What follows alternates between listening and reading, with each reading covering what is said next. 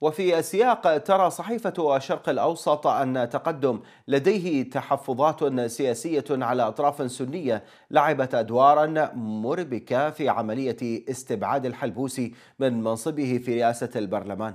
الصحيفة ذكرت في تقرير لها أن التفاوض سيبدأ بعد إعلان النتائج النهائية وأن المناخ السني الجديد بات ينظر إلى الحلبوسي على أنه فرس رابح يجدر التحالف معه.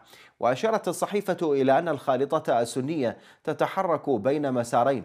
الأول يشمل تقدم الحلبوسي وتحالف السيادة الذي يقوده خميس الخنجر والثاني قوى لديها تفاهمات مثل حزب الجماهير الوطنية بزعامة أحمد الجبوري وتحالف العزم لمثنى السامرائي وتحالف الحسم الذي يقوده وزير الدفاع ثابت العباسي. وأضافت أن هناك تفاهمات سنية سنية للتنسيق في مجالس المحافظات فيما بدأت بعض الأطراف بالتحرك حتى قبل إعلان النتائج لصياغة أرضية أولية لتلك التفاهمات.